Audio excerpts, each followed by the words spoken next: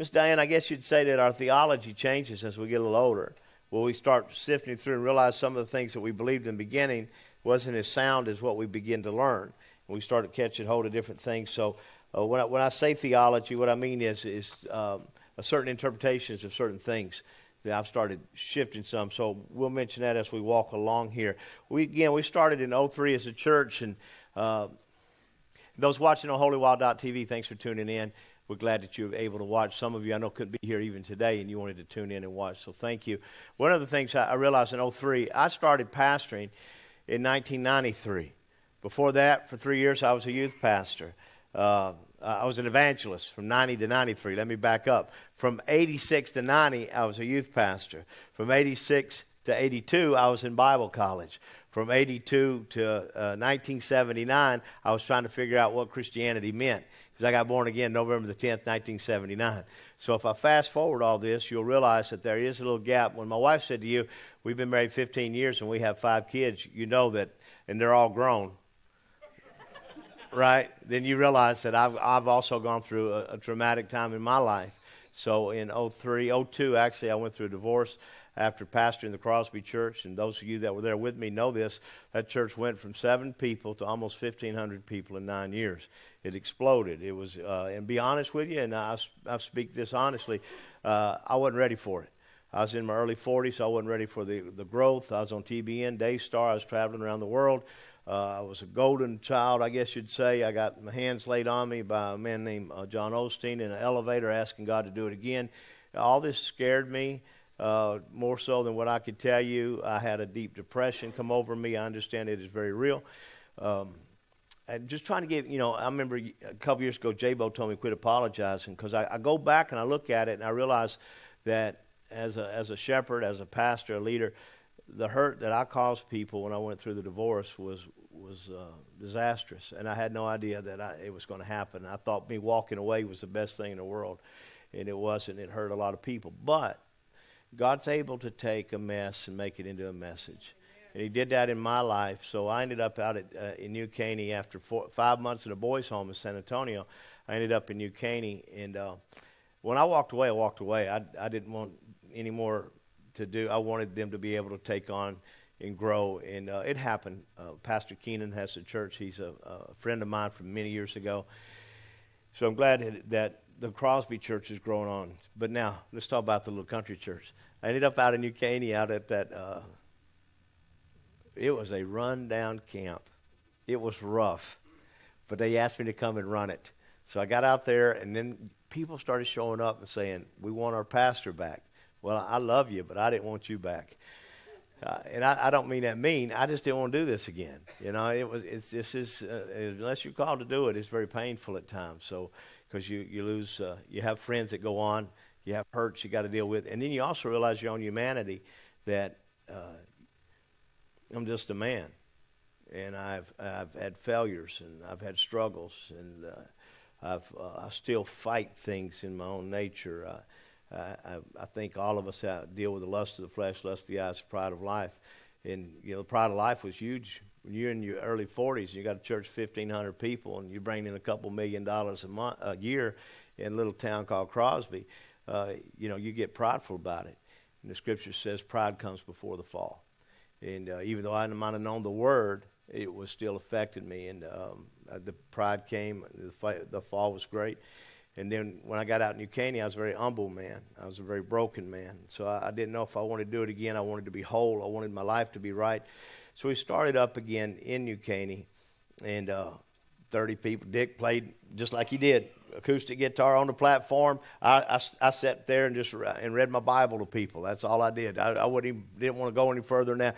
The next thing people said, well, what do we do with the money? What money? Well, you taught us to tithe, and we brought our tithe. And I went, I, I quit. And then they started gathering up money. Next thing you know, we had 30 people, 70 people, couple of hundred people. We went from the old chapel into the new sanctuary. We re- remodeled it. We went from there to over here in a school, school to a funeral home for two years, two years. Came over here, bought this, paid this off, paid that camp off out there. 16 years later, here we are. Amen. And grown in God and still doing the right thing, I believe. Amen. And seeing people reach. And so I've often said, had it not been what I've gone through, most of y'all would not know. I wouldn't have known those in New Caney. A lot of you I wouldn't know here. So, uh, like I look over at Charlie. Charlie and I have been in each other's life a long time, ain't we, Charlie? 95. 95. I did Charlie's wife's funeral years ago, and I scared of Charlie. And I didn't know he was scared of me too. He thought I was a biker. so we just kept it at that. So many of you, we go, we go way back. So yeah, if you have your Bibles, I will be moving very quickly. Let's talk about purpose real quick, Mike. Five purposes of our lives. This is, again, it's not on your overhead. Just flip it back in the notes and you can write it.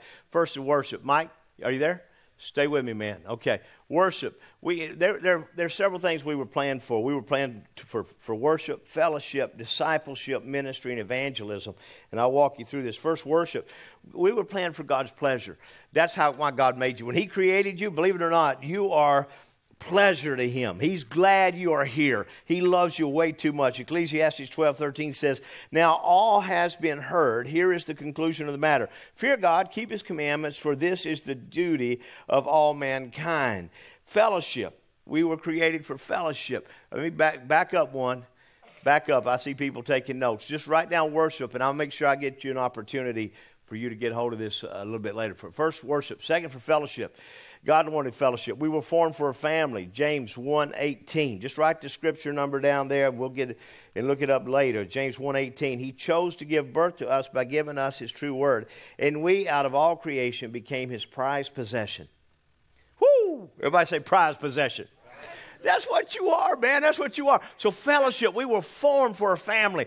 Deity's dream, God had a dream in the very beginning, and that was for a family. That's why God don't have grandkids. He just got kids. That's all he has. He gave us the joy of the grandkids, but he just got children. Amen. And so it's important. We are the children of God. Discipleship. He made us, our purposes for disciple. We were created to become more like Christ. In other words, you're made to grow. You were made to keep growing. You weren't made just to get saved and stop. You were made to keep moving on. So you heard me use the phrase from believers to disciples to Christian. We're moving in this stage. Romans 8 29. God knew what he was doing from the very beginning. He decided from the outset to shape the lives of those who love him along the same lines as the life of his own son. So what you see in Christ, uh, in God, don't go too fast on me now, okay, Mike? Because uh, they're writing stuff down. All right. The same lines as the life of his son. So everything Jesus went through in life to make him a mature son, a lot of things we go through also.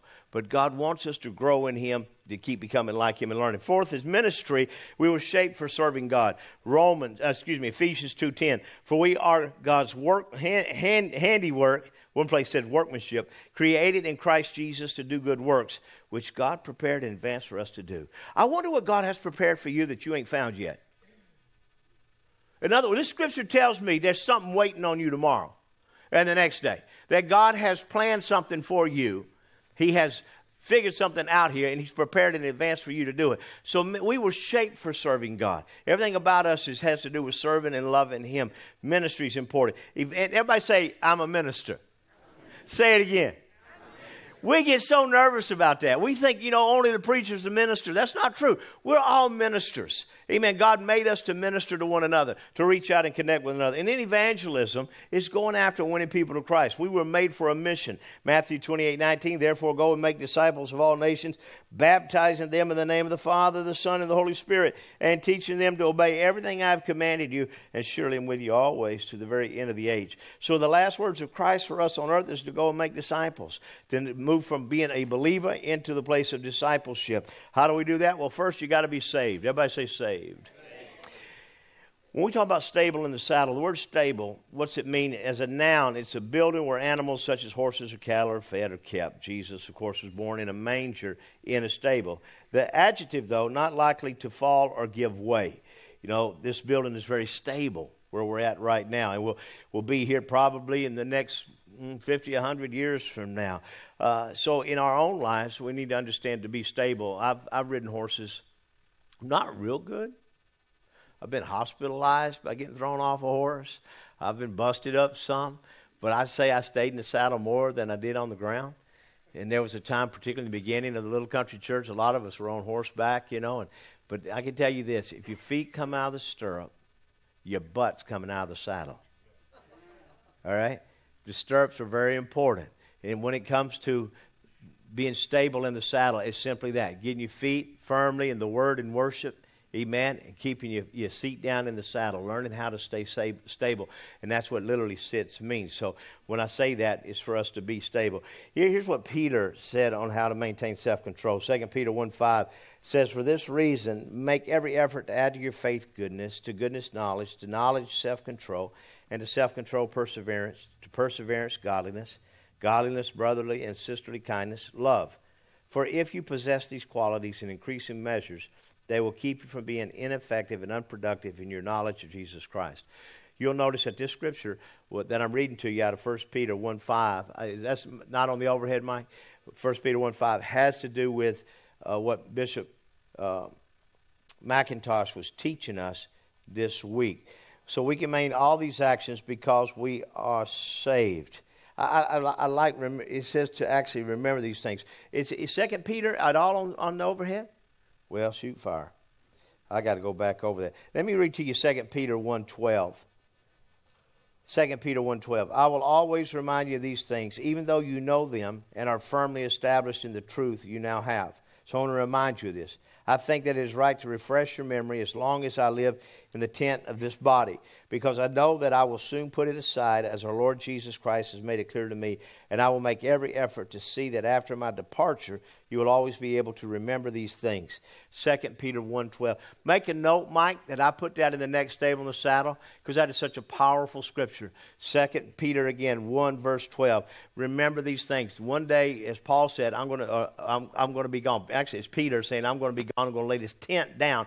And when I do, when it's over with, I want you to realize that what I've taught you is good. Remember this. So he's repeating himself for us to remember it, and to remember it, and to be established. We can maintain all these actions because we are saved. Ephesians 2 8 should be of that in your, in your booklet. Ephesians 2 8, for by grace you have been saved through faith, and not of yourselves, it is the gift of God. Who of you thought at one time that you were saved any other way than faith? That, in other words, let me, I'll throw two things at you. First off, you're just a good person. That good people are going to heaven. How many believe that? You don't have to raise your hand, but, but you know that you've heard this before. You know, well, they were good people. Now, how many know that hell's going to be full of a lot of good people? Second, if we thought we would do works, we would work our way into this thing we would work and be, you know, just again as part of that good person thing. But we did more work. So we joined uh, good boy, good girl clubs, and because of that, we we. So the scripture lays out this thing here. It says, "For by grace you have been saved through faith, and not of yourselves; it is the gift of God." It was even Jesus that said, "Prostitutes and tax collectors are going to make it to heaven quicker than the Pharisees who love the law." That's an amazing thing because it's grace. Everybody say grace. It's grace that saves us. We didn't earn it. We don't deserve it but God did it anyway. So we accepted His grace, and because of grace, that's why we do do good works. I don't, you know, you might have done it before, but after I realized how much God saved us, let me mention this: the more you know how bad you were before you got saved, usually indicates how great you're going to serve God afterward. Because a lot of us, we get in a place in our life, we go, why, why do they love God? Because this one thought: to those that have been forgiven much, loves much. Amen. And when you've been forgiven for a lot of things, man, you, you just and you say, "Well, I didn't, I didn't, uh, I wasn't a drunkard, I wasn't a drug addict." Think about the other things you were then: self-righteous, arrogant, uh, self promoter, all these things. You know, when Jesus looked at a paralytic, lowered down through a roof, and said, Son, your sins be forgiven thee, I've often asked myself, what did a man do who was a paralytic, lowered into a roof, that can't walk, can't talk, and Jesus said, Your sins are forgiven? What did he do? I'll tell you what he did. He envied the fact you could talk and you could walk, he was jealous of your life. You know, sin comes in all kind of packages and binds us in all different ways. So to realize how much you've been forgiven is a powerful thing in your life. First, it's full. Everybody say full. Psalm 103, verse 3 Who forgives all thy iniquities and heals all your diseases. So it's full. Everything, God takes care of it. Forgiveness, past, present, and future. It's factual. Psalm 103, verse 12 As far as the east is from the west, so far as he removed our transgressions from us, as east is from the west. In other words, it keeps on going. It's factual. He has forgotten this. It's forever. And I will remember their sins no more. God will chooses to do something you can't do. I said he chooses to. He could actually remember if he wanted to. He don't want to. He actually forgets your sins. So every time you bring them back up, he goes, What? What are you talking about? I thought we already dealt with this once. I thought I've already told you once that I forgave you. Why do you keep bringing this back up? Well, because I want to be in self pity. Hello, because I want to beat myself up. Uh, you know, so you got to let that go and move on past all of that. You know, I, I wish there was times I couldn't remember certain things. The word repent is a powerful word. Repentance lets us just get back to the, what we call the penthouse. The Greek is metanoia, the change of mind, the act of giving up the old life in order to follow Christ. The results of re- repentance, God offers us a trade. We can exchange our selfish, limited, and shallow life for a loving, giving, eternal life. We put off certain things and we put on new things. Now, I just put a list up here, and it's not necessarily, sometimes I look at this list and I kind of laugh about it again. But let's talk about the penthouse real quick. You ever been to a penthouse? The top floor, the overlook. Somebody invited me a couple years ago to a Rockets game. And they said, hey, we're going to, but you're going to stay in the suites. I said, what? Yeah. Bring your son. I forgot who was it that gave me this gift, but they said, "Bring your son and bring and bring, let him bring some friends." So um, Judah was probably in the eighth or ninth grade then, so he brought some of his buddies with him, and we got there and they put us up in this penthouse type in the Rockets game and I'm overlooking the game. I got TVs to watch it. They got food, a buffet behind me. The cheerleaders came in to greet the guys. It was, it was like, whoa, this is this is incredible. Boy, the boys have never forgotten this memory, man. I mean, they remember watching the Rockets play, and it was one, one of them great games with Harden had.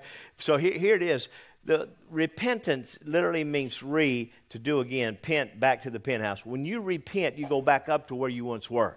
So repentance is not a down thing it's an up thing. When i repent i get back to the high place that god meant for me to have. So repentance is a good thing. Everybody say a good thing. Amen. Go to the next slide there mike.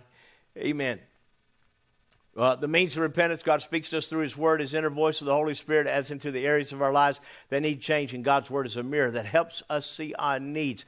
You ever been in church and you, and you said, That preacher preaching right to me? How did he know that?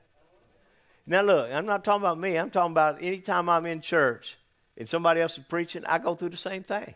They talking right to me. It's the, it's the, it's the book. The book is the book is the book. And when you read it, it's like looking into a mirror. It re- it's a reflection. It begins to work on your life. Conviction is not a bad thing. Conviction says, okay, I need to straighten this up. I need to deal with that. And so you come in, you may anger issues or, or, or, or envy or lust or jealousies or any of those. And you start looking in the book and you go, okay, self control, such a dirty word. Amen. And, and you start looking into it and, and then you realize, okay, I got to change here. So that's conviction. Amen. So when you get that convicting power over you, you, you got to start, you say, All right, Lord, I receive that in Jesus' name. Amen. So we put off and we put on. I, I think all of us would admit that drugs, alcohol, uh, nicotine can be too, but, but there are certain things in life that we can put off. When I, when I mention drugs, we're, we're, in a, we're in a weird, weird time right now in America. Uh, I, I listened to uh, some reports, NFL. I, I, like football, college, whatever. And so we're going through this time right now where the, the debate, I'm not going to have time to debate it with you, where, whether marijuana is a, is a bad drug. But I've often struggled because I had a problem drinking when I was young. Oh, I drank. Now, I smoked a little too, but, but I, I, I really drank a lot and drinking changed me and it made me mean and it made me vulgar and it made me uh, i wasn't a nice guy when i drank. So quitting drinking was important to me. Now i've said this for years. I, I cannot condemn drinking biblically but i cannot condone drunkenness. Because when you get drunk you get stupid. Now i know some of you like a little sip of wine like i like nyquil. All right Let's just tell the truth, shame the devil here. Some people, they'll condemn you for drinking wine, but they're going to they're gonna drink a half a bottle of NyQuil before they go to sleep. It's got the same amount of alcohol in it as the wine did. Okay? Because we said, well, it's legal, so I can do that. We got this thing where you're going to have to quit looking at what the government says is legal, not legal, and say to yourself, God, what is it I can and can't do? Amen. So for me, if my kids saw me pop a beer or something, I think it would break their heart even though they may be able to do it as they get older, it's something that dad don't need to do because of where it's led me. I think you have to take a good look at your life and say and be honest and say, okay, this is this is harmful and this is not. And then if, if somebody around you, the scripture teaches us, limit your liberty by your love. If I, if I love Jason and I know Jason's got a problem with, with something, I'm not going to do that thing around him. You follow me? I'm going to limit my liberty by my love. I love this man, so I'm not. I don't want to be a stumbling block and make him stumble. So I want to be careful with that. If if I uh, and I'm I'm serious about this. There's certain I, I got my guys. I can say certain things around David and Joseph that I would not say around some of you, because some of you would take it and go, "Well, that was offensive for the pastor to say."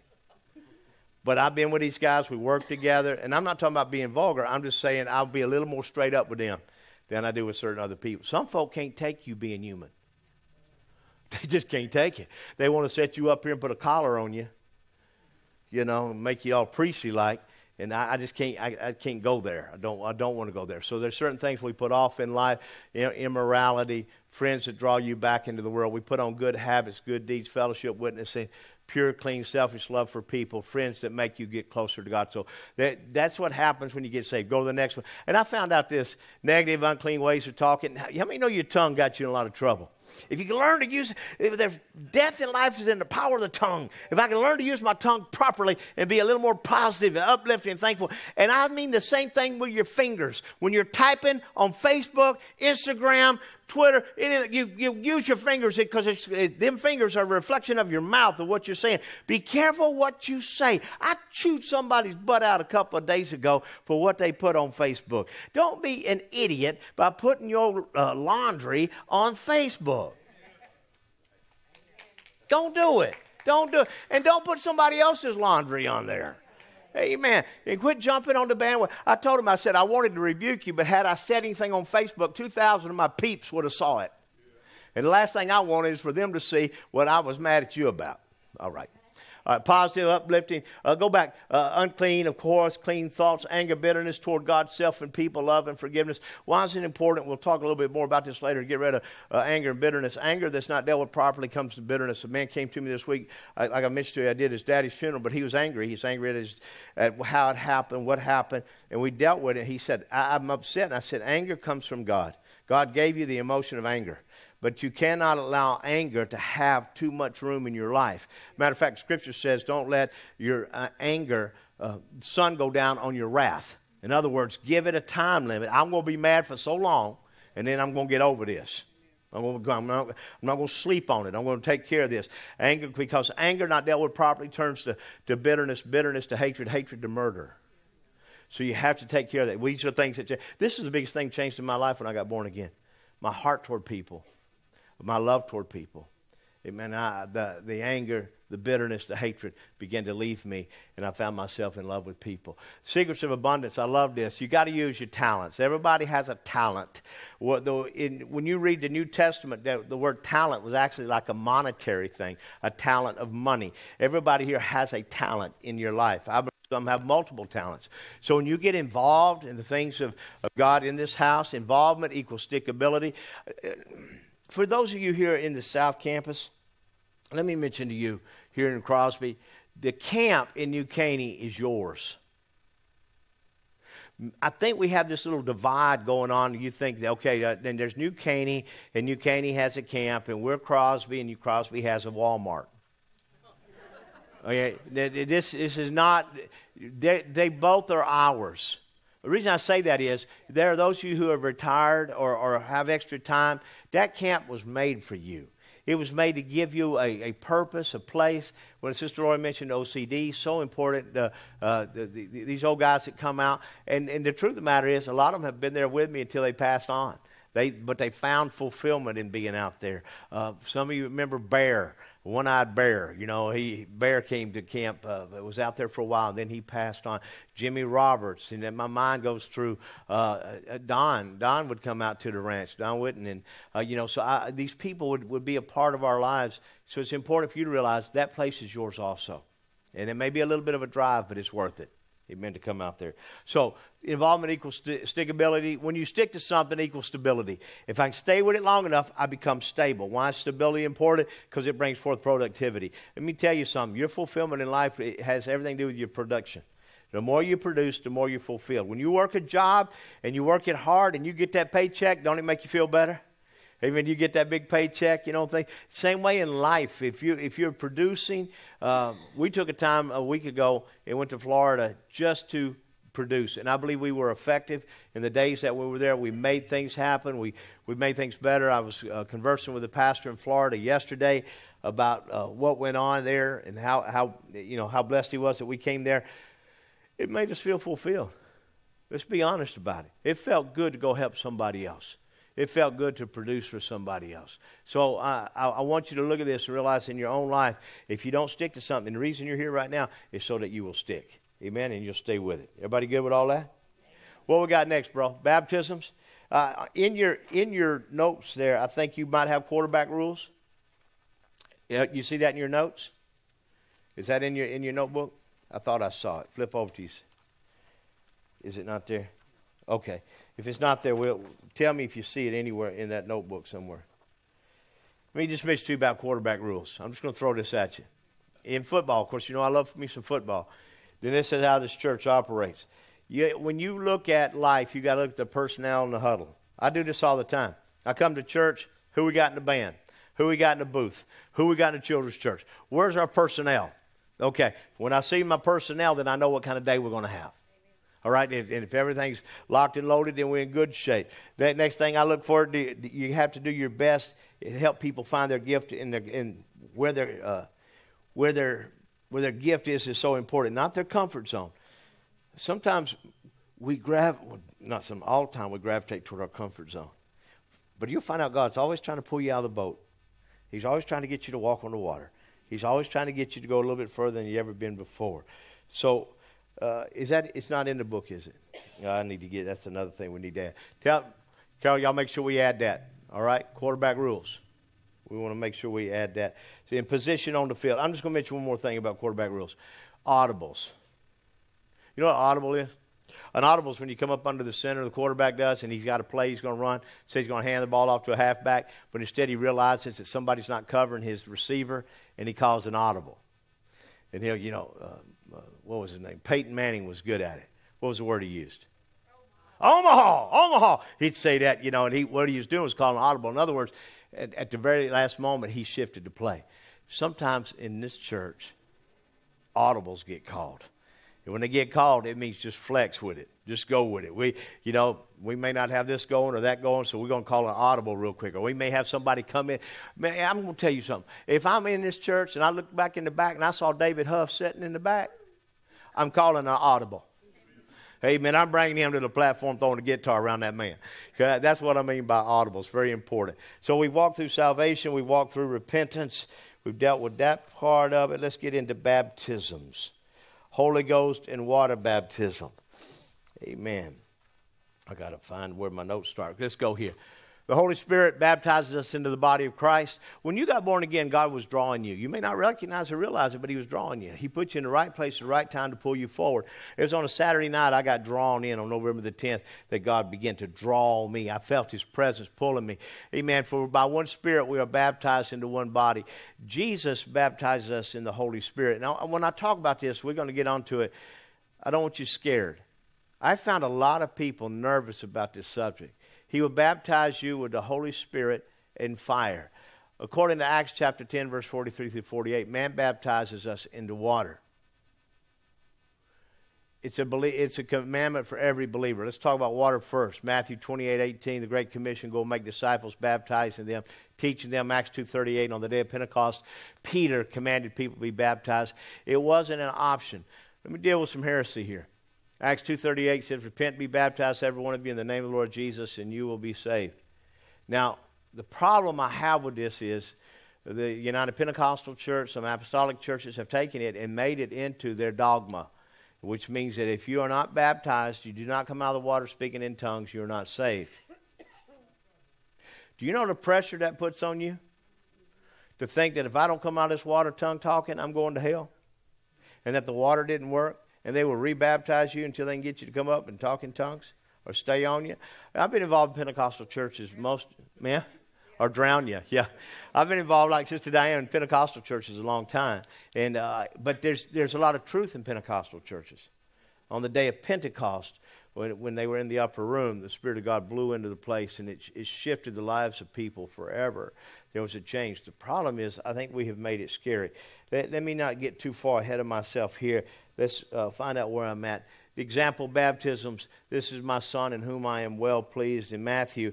Uh, uh when Jesus was baptized, and I watched this again last night uh, on, the, on the Bible, John was baptized, and Jesus came and told John to baptize him. And, and John had just said, There's coming one after me that whose shoelaces I'm not worthy to touch. And he's going to baptize you with the Holy Spirit and fire.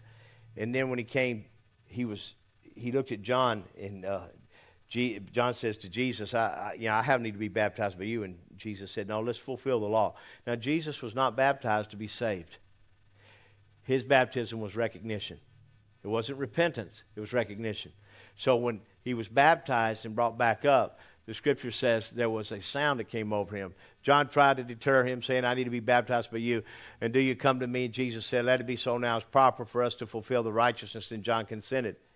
As soon as Jesus was baptized, he went up out of the water. At that moment, heaven was open. He saw the Spirit of God descending like a dove and lighting on him. And then the voice from heaven said, This is my Son whom I love. With him I am well pleased. Again, the blindness of the Jewish people not to pick up the fact that Messiah had come, that he was baptized. A voice comes out of heaven This is my beloved Son in whom I'm well pleased. It was affirmation, validation that God's Son was on earth to do the mission of heaven. There's something about it, and yet people still didn't quite see it. All the miracles, all the things that Jesus did, but the baptism was important. It was confirming that this was the Son of God. My goodness, guys, if you'd have heard a voice come out of heaven when you got baptized, you know you, yeah. Huh? Jesus come up out of that water wet, heard his father say, you know, and, and before this, we know that he's been praying. He's been praying. But we don't hear audible voices during that time. This is something that came out of heaven. This was God speaking. When, I, when I'm reading this, I get excited about it because I realize God is watching us. He's observing us. He, he speaks over us. He's talking to us. Amen. So uh, when, when, Jesus was baptized, it was an amazing thing that, that took place in his life. Amen. Let's keep on rolling here. The power of baptism. We buried the old man. In other words, we're able to look back on that day and say, listen, the old is gone, the new has come. Devil, I, I don't have to listen anymore to you. And it's, it's a wet grave to rise and walk in newness of life. Or don't you know that all of us who were baptized into Christ Jesus were baptized into his death? We were therefore buried with him through baptism into death, in order that, just as Christ was raised from the dead through the glory of the Father, we too may live in a new life. If we've been united with him like this in his death, we will certainly also be united with him in his resurrection. So baptism is important. It's something that I think that, that all of us should step into. If you've not been baptized, we have a baptistry here. Please sign up to be baptized. Uh, the scripture teaches that, that there, there's, there's some power in it. There's something about it. For we know our old self was crucified with him so that the body of sin might be done away with, that we should no longer be slaves to sin, because anyone who has died has been freed from sin. Now let's talk about, let's ask questions first here on baptism, water baptism, very quickly, if you have any questions. Anyone? Come on, surely you got a question about water baptism. Right behind me. Right behind. We have a horse trough. It's actually a horse trough back there behind me, and all you got to do is sign up, and we will actually have we have heated water here. That right. That right. It's a little bit better here. Uh, let me say it's a little bit warmer here. I don't know if it's any better, but it sure is warmer here. Amen. Also, by the way, guys, uh, if you've ever been around me when I'm baptizing, I baptize in the name of the Father, the Son, and the Holy Ghost, and as the disciples carried forth commandment in the name of the Lord Jesus. The reason I do that again is, is because of all the conflict that we've got over baptism formulas. There, I was brought into a church that believed in Jesus' name only baptism. So you were baptized in Jesus' name only. As if somehow if you said Father, Son, Holy Ghost, it didn't count. Uh, and they may this is a dogma. This is a hard teaching that Jesus only that, that only you're going to get baptized. So also on the Trinitarian side is Father, Son, Holy Ghost, and they're dogmatic about that. So what do I do? I say them both because I believe that they can't be wrong if I say both. I have a, I have a friend uh, who baptizes in tongues. He don't say any of it. He just starts speaking in tongues and baptizes. Says the Holy Ghost can't be wrong. I don't know. I, I just soon say it. So I'm going to I'm going to pray over you, say that over you, and believe that the old is gone and the new has come. Amen. And there's there's power in that. Any questions about baptism? Charlie? I was baptized Methodist. Uh huh. Were you sprinkled or baptized? Sprinkled. Yeah. And how is that? I, I, I use the issue conscience.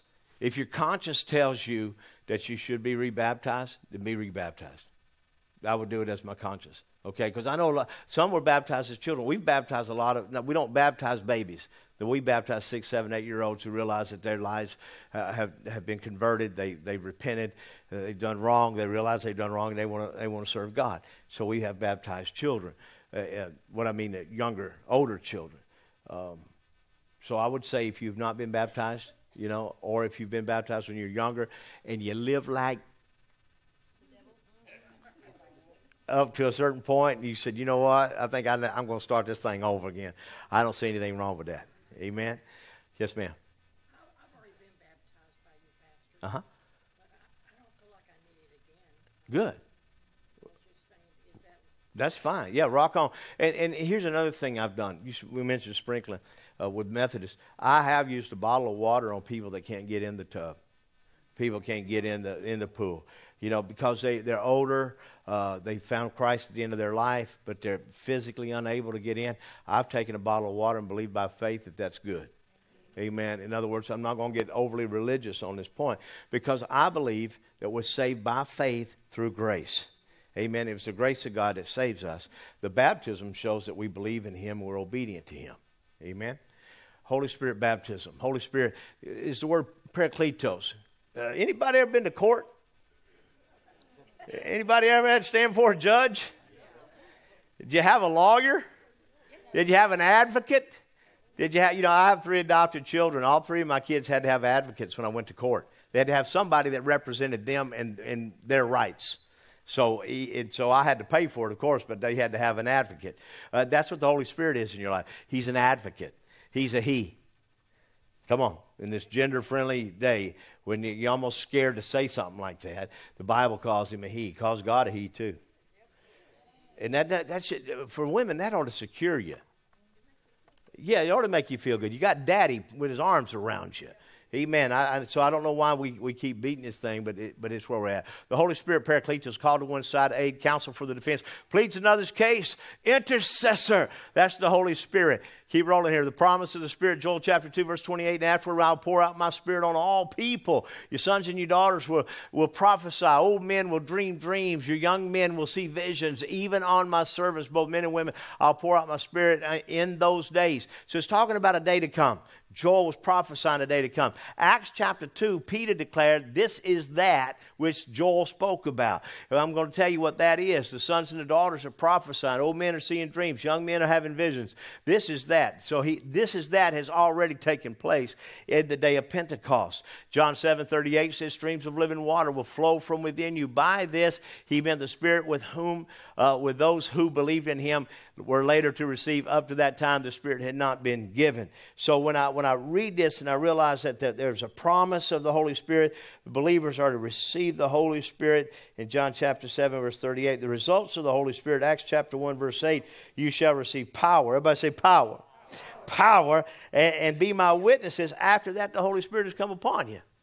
Now, Here's, here's always the question that people have whether you're Baptist, Presbyterian, Methodist, Pentecostal, how, how does this happen? First off, I would encourage you to ask God to send the Holy Spirit into your life.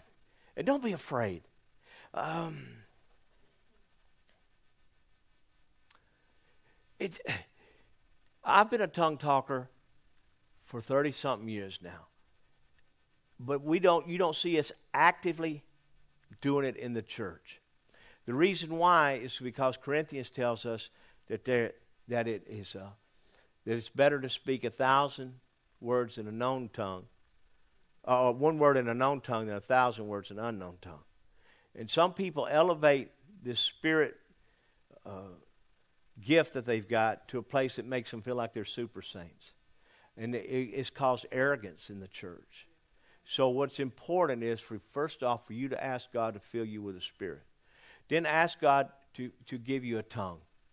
Begin to speak in other tongues. And, and you may start out like a, like a baby. I mean, uh, I don't mean it's demeaning. Goo goo, gaga, whatever, dad, dad, mama. It, it'll start off something, maybe even like that. Or it may gush out of you. It may flow out of you, which happened in my life. And then there's always that question is this for real? The, the, the evidence is going to be found in two ways power and love. You're going to have boldness like you never had. You're going to realize that God is for you, and you'll start loving people. The problem I've had with religion is just because you got a gift of tongues doesn't mean for you to be mean to everybody. And I've seen that happen.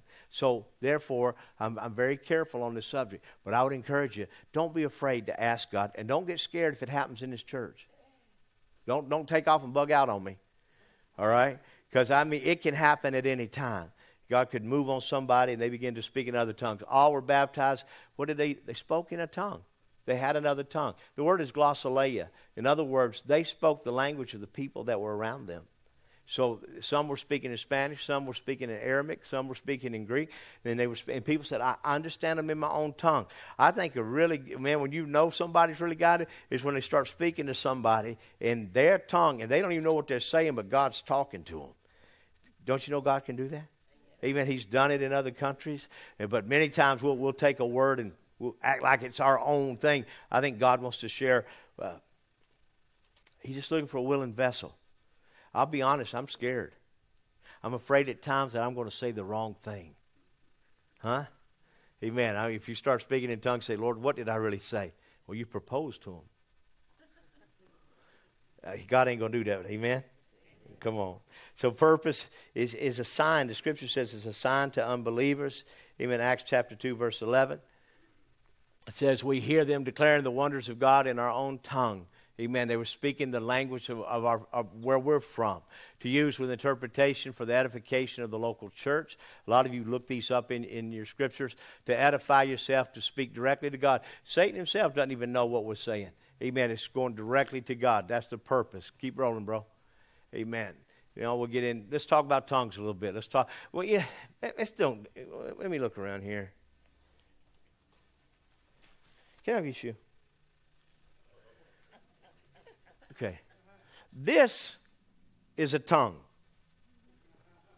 Everybody good with that? This is soul. Everybody good with that? Many times we only focus on the tongue.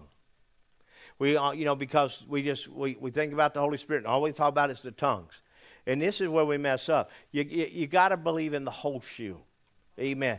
This, what I love about the Holy Spirit is He is my advocate. He is my, uh, uh, He's Paracleto. He stands, he, he, he tells God, I know He's human. I know He's done stupid stuff, but you know you love that boy. And God said, I know it. And Satan says, Don't give him another chance. Send him to hell with me. And then and my advocate says, Are you kidding? He's washing the blood of his son. And God says, Yeah, he's wa- and, and this is the this is what goes on in heaven for you. So when you think about the Holy Spirit, don't just focus on the tongue all the time. Focus on the whole shoe. Amen. Realize he's more than the tongue. And if you do that, you'll probably end up speaking in tongues quicker because all you've been focusing on is a language instead of the person. So invite the person into your life. Amen. Invite the presence of God into your life. Remember, He drew you. He, he's your friend. Jesus said, I'm going away that the Spirit can come. In other words, I'm never going to leave you. You're always going to be there. I'm always going to be there for you. So, any, uh, any questions, real quick? Amen. Can I take one more lesson? Can I go through one more lesson real quick before you take a break? Because I know some of you have got to get rid of that coffee. Let's talk about spiritual warfare real quick. One of the things that you find out when you get born again is you're in a fight. Everybody say a fight. I mean, you are in a fight. You know, you once belonged to darkness, and now God has pulled you over into the light. Because of that, and uh, you, you got to recognize you're in this war. 2 Corinthians 2.11. We are not ignorant of his devices.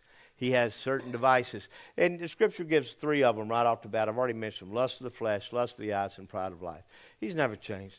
Satan has always used these three things to combat and destroy men and women.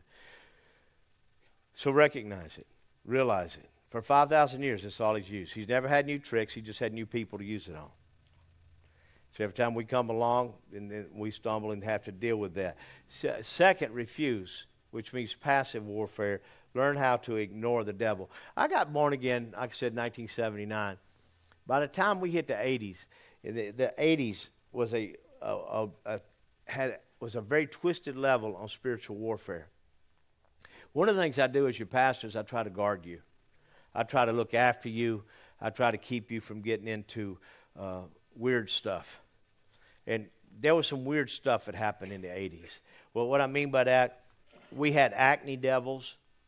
There were people literally trying to cast out pimple devils from people. Anything that was wrong with people, uh, you know, the, the, they coughed up frogs in garbage cans and said that was a devil. You know, you could. There was eight. How many remember a book called 88 Reasons Why Jesus is going to come back in 88? Anybody remember that book? I had that book. 88 Reasons. 1988, Jesus was supposed to come again. And the church world went crazy. They were trying, they were saving up, they were preparing. Well, I'm, I'm sorry, they were selling, they were getting rid of. They were they were they thought Jesus come in '88, and they, they had books out. It, it, it fanned through the body of Christ. It didn't happen. It happened. It's supposed to happen September 1988. Didn't happen. The same guy wrote another book, 89 Reasons Why Jesus would come in '89. I'm telling you the truth. This is how weird things were getting. And people were buying that book, eh, but not as many as was believing that it was going to happen. I remember when I first came to Crosby, I had a, a, a man try to get me to go up in a plane with him. And, he, and I said, Why you want to go in a plane? He said, We're going to fly over the town of Crosby and we're going to rebuke the prince and the power of the air. So we're going to get up in the air and rebuke the devil. I looked at him and I quoted scripture. I said, Jesus said, Lo, I'm with you always. So I'll stay low. You go high, I'll go low. I'll stay right down here and rebuke the devil. Amen. I ain't got to go up there. Crazy things were happening, and everything under the uh, ideas of, of spiritual warfare. I, I had a, a a sister-in-law once that got so involved in spiritual things that it was called dominion theology. And I, I believe in dominion theology. I believe in mowing grass that's taking dominion. I believe in uh, uh, taking out wild hogs that's taking dominion. I believe in training my dog that's taking dominion. This is proper taking dominion. But now she got into some weird stuff and she would look at uh, this actually happened. I lived in a trailer house at that time, and it was hot, and I had the door open. We were eating breakfast. I had pancakes. You got pancakes, you got syrup, you got syrup, you got flies. Doors open, flies are in the house, and she started looking at them flies. And she just come out of this little Bible college, and she's sitting there with, with her husband Paul, and I heard her say, "In the name of Jesus, flies, get out of this house." And she's staring at them flies. Now I'm watching this. I hadn't been I hadn't been saved about 16 months at this time, you know, and I'm observing what's going on. And she does it again. In Jesus' name, flies leave this house. And I'm watching them flies. I know just enough scripture. I get me a fly swatter. And I walk over and I stare at that fly. And I hit that fly and I kill it. And I looked at her and I said, Faith without works is dead. In other words, you do what you can do, then you take care of the possible, let God take care of the impossible. Don't waste God's time on flies when you can shut the door and get a fly swatter. All right? This is what I mean by spiritual warfare. You got to decide what it is that you really got to fight. And you can't throw the baby out with the bathwater. You got an enemy. You got an enemy that hates you. Amen. And, and he wants uh, he wants nothing but the worst for you. If Jesus came to give abundant life, Satan came to steal, kill, and destroy. So you got to be alert. You got to be uh, you go understand it. Acts chapter 19, verse 15. I'm, I'm, going to move through some things. Just just leave that up there unless that's on the overhead somewhere. Uh, Acts 19 is that is that on there anywhere? You see, Acts 19 is a story about a man that had a devil, and seven boys come to cast the devil out of him. The boys were last name was Sceva. They laid hands on the man, and the man actually said this: "Jesus I know, and Paul I know, but who are you?" In other words, I know Jesus in hell. This is what they did. They said, In the name of Jesus, who Paul preaches, come out of him. Because they'd seen Paul casting out devils. And so at that moment, the devil rose up to the man and said, Jesus, I know him. Paul, oh yeah, I know him. And, and if I could be blunt, who in hell are you? In other words, who down here in hell are you? Because I don't know you here. And the Bible says that man beat them seven boys, stripped their clothes off, left them streaking, running out through Jerusalem naked, beat them up good. Uh, uh, it doesn't say the devil ever got cast out of the guy. Amen. In other words, if you go into this wrong, if you're not prayed up, you don't love Jesus, if you don't understand the Bible, don't mess with devils. And so they run out. Did you know in Acts 19, revival breaks out after that? People saw it and revival broke out. It never said the guy got delivered. But somehow I think when, the, when that man, when them devils got back to hell, Satan had to beat them up. Say, man, what are y'all doing? Y'all starting revival instead of stopping it. You know, it, it just took off, and people started bringing in all of their, all of their, uh, the scripture uh, said all of their paraphernalia, and they burned all that. Ephesians six twelve says, we wrestle, we wrestle. There, there's a wrestling match going on in, in our lives when we wrestle against the devil. It's, there won't be no time out. So first off, we recognize. Second, we refuse. Third, resist the devil. The scripture said, resist him, and he'll flee from you if you learn how to release him, let him go. Let me also mention to you in the area of recognize. I'll go back to that one. When I say recognize, you, all of you, because of God in your life, you have a sense of red light, green light, yellow light. There are times you're going to be around certain people, hear certain teaching, and it's a green light. Man, it's solid. You know that's good you go for it. Then there's times you, you'll get around certain people or you hear certain teaching and a yellow light. It'll be like a warning. It'll be, pay attention to this. In other words, today, tremendous around the world is this teaching of inclusion. Our government espouses inclusion. I believe that there's certain inclusions that we need to make. We need to include one another. But when it comes to my Jesus, if you don't know Jesus, you're not making it to heaven. Jesus said that, not me. Amen. He said that. I'm the way, the truth, and the life. Nobody comes to the Father except through me. You got to come through Christ. He, his blood was for our sins. What he did on the cross was for us. It's easy for me to accept that. I don't know why it's not for others. But on the flip side, maybe they're blind through the, the God of this world. But inclusion just says that no matter what, everybody's going to be saved. We all got the same God. We're all going to be good. You know, Muslim, uh, Jew, Christian, uh, atheist. We're all going, uh, Satanist. We're all going to go to heaven. I've often said we're all going to heaven. We're just not all going to get to stay. Scripture says we're all going there to be judged. Some are going to be on the right, some are going to be on the left. Everybody going to heaven. You can tell folks, everybody going to heaven, but not everybody going to get to stay. And by the way, quit being so scared about hell. Hell ain't nothing compared to the lake of fire. The Bible says hell will be cast into the lake of fire. Telling somebody to go to hell is one thing. Tell them to hit the lake is a totally different story. Amen. Tell them to hit the lake. That's, that's, that's really cussing them. Okay. they won't even know it. Uh, refuse, refuse, refuse to be hurt. Refuse, refuse to take revenge. Refuse. Resist, resist the devil. Cut off the strategy. Offense, defensive warfare. It's the defense's job to stand in front of the goal, to keep the opponent out, defend your commitment against the enemy's lies. You're not really saved. Yes, I am. Oh, you're not. Yes, I am.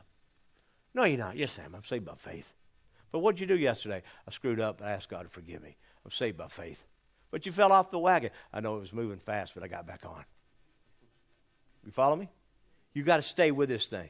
You can't listen to his lies. You got to defend your mind war against thoughts that don't agree with the truth. That's why we put on the helmet of salvation. 2 Corinthians 10 3. For though we live in the world, we do not wage war as the world does. The weapons we fight with are not the weapons of the world. On the contrary, they have divine power to demolish strongholds. We demolish arguments and every pretension that sets itself up against the knowledge of God, and we take captive every thought to make it obedient to Christ. Let me give you a word here to defend the gospel is word apologetic.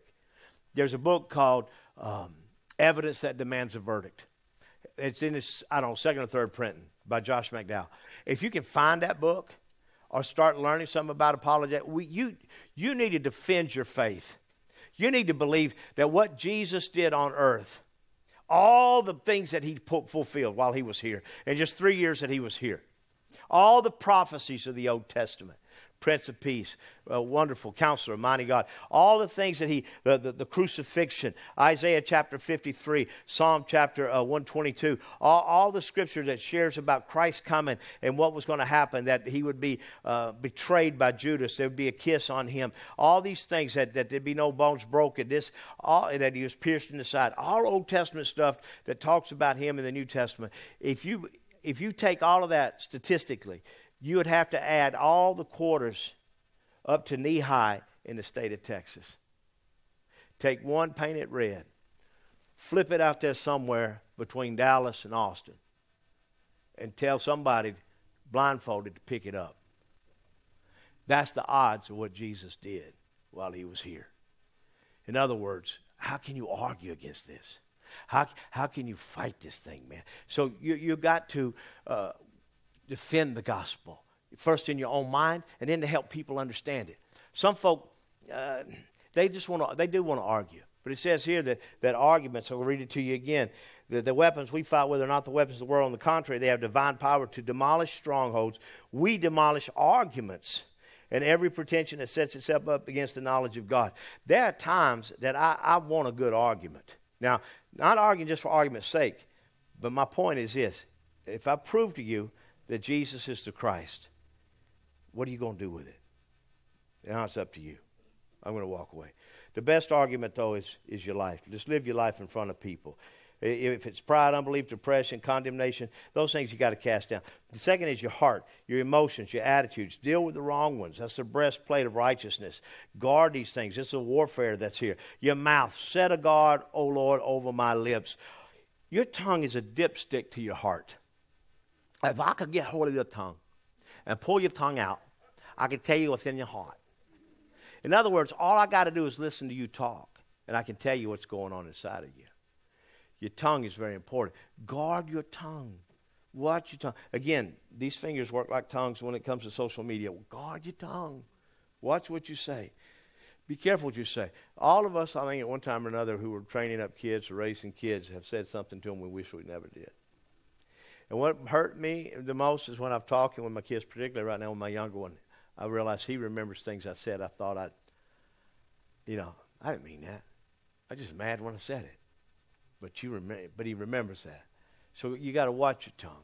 You got to watch what you say around them. Amen. Now, not only defensively, but offensive warfare. Offense tries to find a way under, around, or through the opponent. You can't just play defense, praying, praying for a tie. How many know this is not going to be a tie game down here? How many know when it's over, it's not going to be a tie? God throws up a quarter and says, "Okay, devil, you get half, I'll get half." It's not the way this thing is. This thing, my friend, is a win. We're going to win this. I've looked in the book, seen the end of the book. We're going to win this thing. Jesus is going to come back on a white horse, Lord of Lords, King of Kings, sword in his hand. He's going to be uh, taking names. He's going to be dealing with, with the wicked. I'm going to tell you something. We're going to win this thing. Can I get an amen? Amen. There's something about it. The Matthew 16, 18 says, I say unto you, thou art Peter, and upon this rock I'll build my church. The gates of hell shall not prevail against it. In other words, uh, the, the truth of the matter is, thou art the Christ, the Son of the living God. This is the truth we stand on. We serve the living God. We serve the Christ. The gates of hell will not, uh, will not prevail. Ephesians 6, 12 mentions the rulers of this world. For we wrestle not against flesh and blood, but against principalities, against powers, against the rulers of the darkness of this world, against spiritual wickedness in high places. Principalities are rulers over a specific territory. Um, you ever travel from one place to the other and realize just how quick the atmosphere changed? How quick, how dark it got? I didn't recognize that much being in Alabama. When I came to Houston, I really picked up on it because of the population. I worked in a little town called Channelview, Texas, for a period of time, and I would travel up Woodforest Boulevard, and I would hit North Shore. And North Shore was a more upscale. The people were a little more upscale. But then I could shift over to a little bit. Many of you know about this area, Cloverleaf. And I dealt with a lot of kids in Cloverleaf.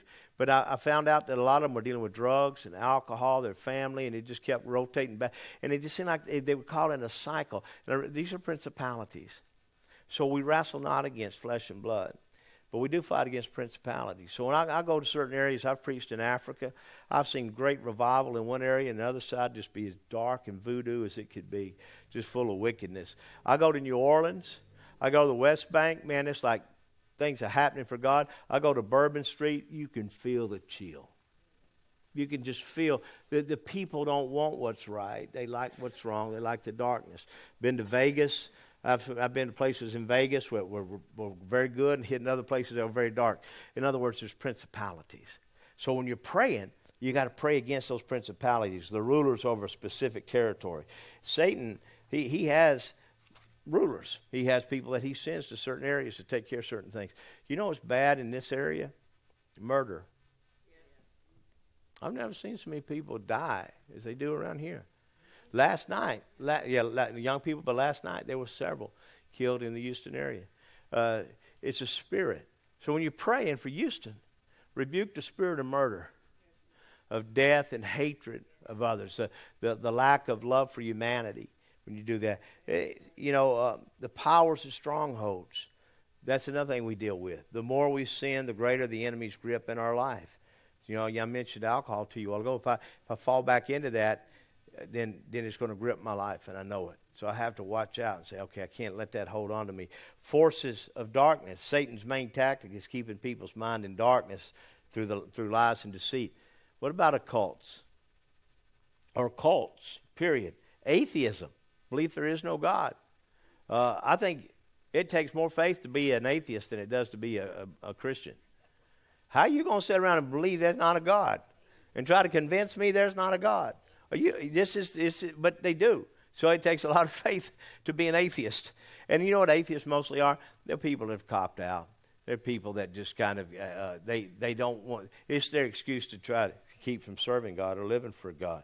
Uh, strange teachings, doctrines, um, Scientology. I don't know much about it, but yeah, it's some crazy stuff.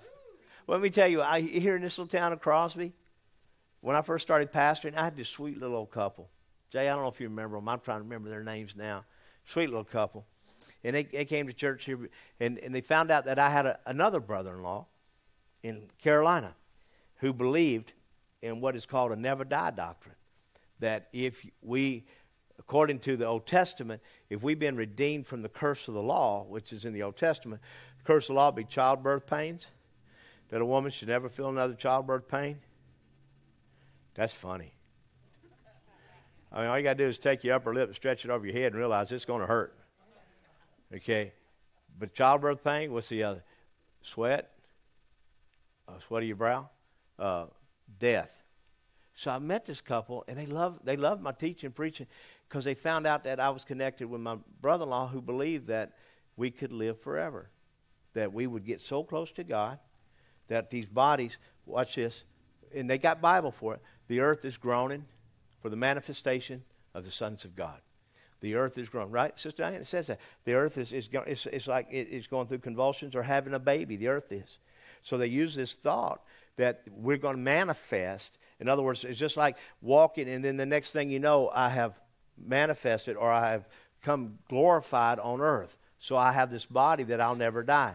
And so I had this older couple in my church who believed that because they didn't want to die. And so they held on to that belief. The problem is they were still aging. You know, if I'm never going to die, I still don't want to look 105. right? With all the ailments that go with that. So they and when when I told them, guys, I don't believe what my brother-in-law believes. I believe that we are going to taste death. It's going to happen. They quit the church because I was a heretic to them and I was full of unbelief. And they were right here in this town of Crosby. And as far as I know, both have died because with that kind of teaching espouses, uh, it makes us, uh, uh, again, and I, I got on my brother in law about it. You act like you're a super saint, that somehow you're going to hit this place and you're going to be all that. Why you want to believe that when the Bible teaches that these tents wear out? They wear out. This is, this is life. Amen. And if I learned to embrace that, if I learned this earlier, maybe I could have took a little better care of this tent. Amen. Where am I at here?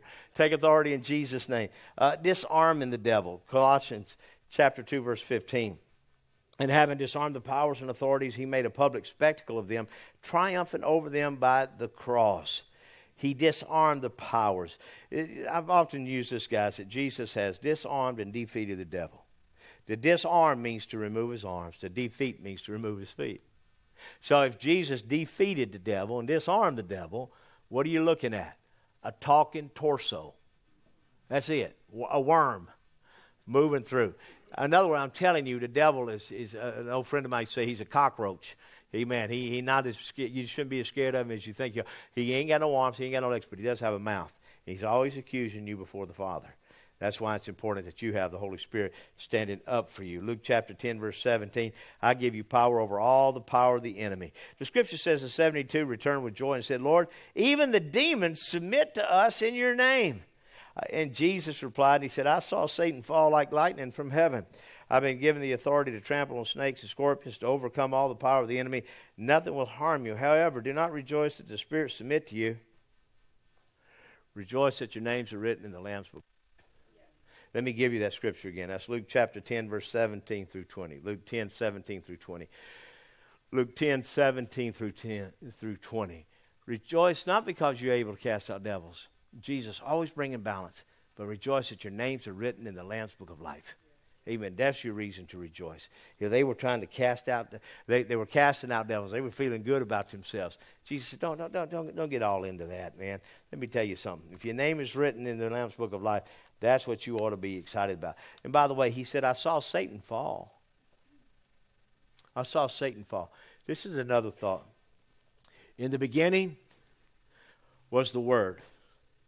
And the Word was God, and the Word was with God. In the beginning was the Word. So if you were to ask me, when did Jesus show up? He's always been. He been the Word. Amen. He is the Word. God spoke the Word, and the earth was. He's always began with the Father. It's a glorious mix up. Jesus said, I and the Father are one. If you've seen me, you saw Dad. You ever seen a kid and say, I know who your daddy is? Uh, you could tell by being around. I know who your daddy is. I can tell by where you walk, where you talk, where you everything you know. I know your daddy. That's the same way. That's the same way that if you saw Jesus, you knew the Father. It's a glorious mix up. I'm convinced when we get to heaven, we see one throne, one God. I don't see three, three hello, Father, hello, Son, hello, Holy Ghost. I don't think we're going to see three. It's you are body, soul, spirit. I think we'll see one. So Jesus said, I was there when I saw Satan fall. I was there when Satan was cast out of heaven, like lightning falling to the ground. I was there. When he said that to them disciples, they had to perk up a little bit and go? What you saying?